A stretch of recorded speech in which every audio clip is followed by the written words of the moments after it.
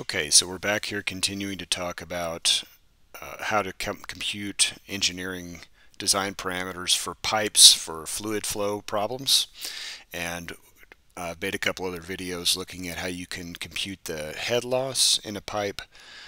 That is the loss associated with friction and energy. Uh, or you can compute the flow rate if you know the, the head loss and the, the diameter. And so in this video I want to show how to compute the di diameter that is required for a, a, specific flow rate that is uh, needed for a fluid uh, given the amount of head loss that there is or the amount of head that's available. So um, in this kind of problem, so you might want to look at those other videos before you watch this one. Uh, in this video, these are more complicated. In the other videos, we looked at how you can use the Moody chart to uh, compute the value of the friction factor, and the, the friction factor depends on the Reynolds number and the relative roughness. And so when you're computing pipe diameter, it is more difficult, and that is because both the relative roughness and the Reynolds number depend on the diameter, so these are harder to solve. Um, often we will have the head loss as one of the given parameters. And so in that situation, we're working with the Darcy-Weisbach equation to understand the relationship between the head loss and diameter. And so if you rearrange the, the um, Darcy-Weisbach equation, which is normally written like this, you can rearrange it. This tells us how much head loss given these other things. If you want to solve for the diameter and you know the flow rate, uh, you can use this version, note the one-fifth power here, or the fifth root. Or if you're solving for uh, velocity here, you can do it this way, a little bit easier. But often we have the flow rate, that's what's given. So we need this much uh, fluid, and we know that there's this much head that can move it. And so what diameter do we need to get that much flow? Okay, so again, in these problems, we don't know the friction factor, and we also don't know the, the things that we use to compute the friction factor, which are the relative roughness and the Reynolds number. And so the way that we are going to solve these, these are going to be iterative solutions. Uh, we're just going to guess a diameter, pick something. And so most likely we're not going to pick right the first time, and so we have to do iteration, meaning we, we make an assumption and then we follow the logic until we are done. So we'll pick a value for the diameter, and we're going to have to look up the values of the fluid properties and the pipe material that we need. So the pipe material height, roughness height here, uh, fluid properties which go into the Reynolds number. So we pick D and then we can compute these things and uh, then we can get a value for the friction factor and then we can use the friction factor here with this version of the Darcy-Weisbach equation to compute the, the diameter that is implied by that. So we pick a diameter, we use it to get the friction factor here via these other numbers, and then we compute the diameter and we need to repeat this cycle over and over again until the value we guess here at the beginning is the one we compute here in step five. Okay, so we do this again and again. And again, if we pick a value for the diameter here and then compute a value there and use this value that we computed back in step one, if we do it iteratively, uh, you should get to a solution pretty quickly, usually within two, maybe three levels of iteration. If you randomly pick here in step one, you will be at this for a very long time, most likely until you get something that uh, closes, what we say is closure. Okay, so we're going to use this version of the equation, and then we follow the logic through. All right, once we're done, then we have to make one last step here, and that is to round up to the nearest uh, pipe that's an appropriate diameter. So if you find that the pipe that you need is 11.237 inches, you're not going to be able to get an 11.237 inch pipe. You'll have to round up to a one foot pipe. That's the last step, the nearest size that's available. Okay. All right, so let's look at this. Um, look at an example here. And so here we're supposed to find the diameter of a copper pipe needed for 10 cubic feet per second of water at 70 Fahrenheit or 20 Celsius. And the head loss is going to be about 20 feet per mile of pipe in this example. Okay, so we're going to need, again, we have these five different kinds of variables which you talked about in the previous examples. We have the fluid properties, the roughness height that's associated with the material of the pipe, and then we have the head loss, and then we have the flow rate, and then we have the diameter.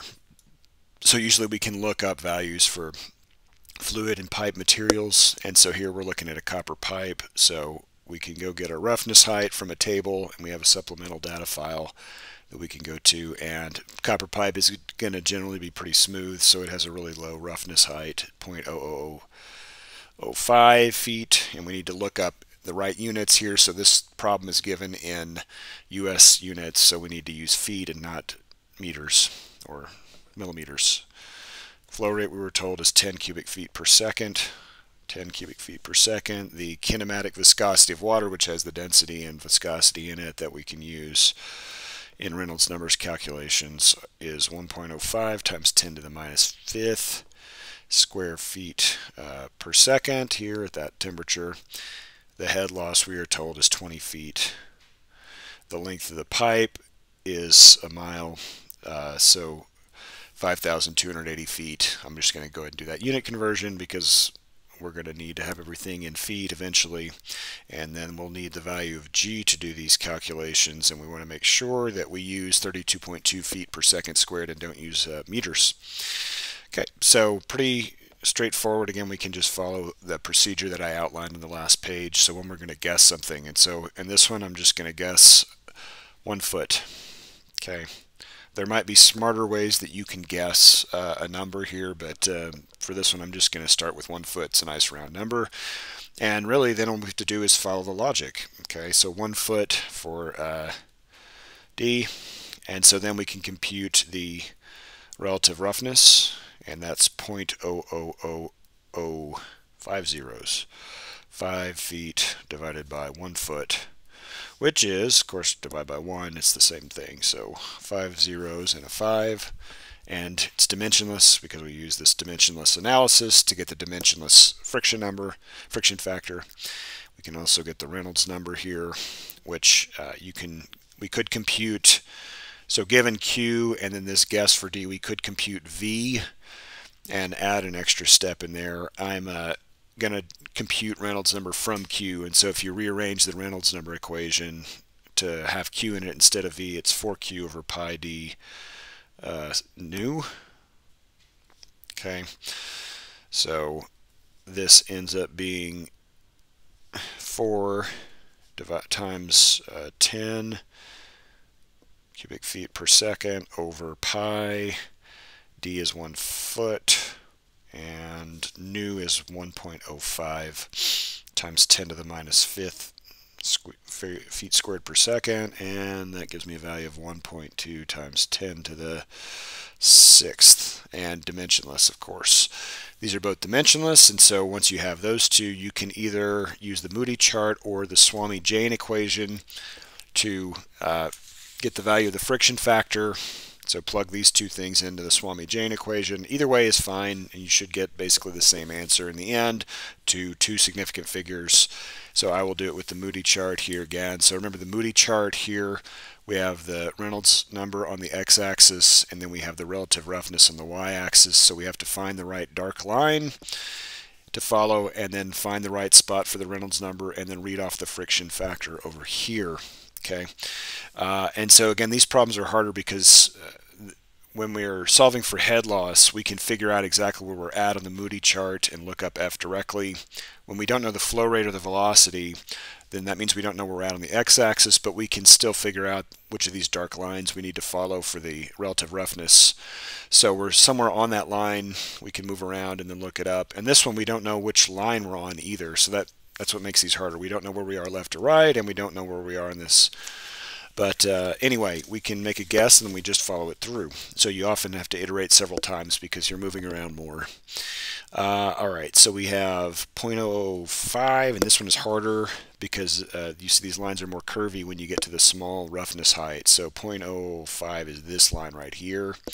And then the Reynolds number that we uh, got was 1.2 times 10 to the 6th. So here's 10 to the 6th. And here's that line. So they basically collapse to a smooth pipe. And so you can see it's about, it's between these two lines. So 0.0, sorry, on the chart. So it's between uh, these two lines. So again, this is 0.01, 0.015. That means these have to be going up by 0.001. So this is 0.011, 0.010 this is 0.011, this is 0.012, and we're in between these two, so we're going to get about 0.0115 approximately. So we'll say for Moody, we get that F is about 0.0115. Okay, and then we can use our version of the Darcy-Weisbach equation to solve for D and see if that was, if it gives us the same thing that we guessed, which we think would, it's pretty unlikely to just guess right on the first shot, but we'll see.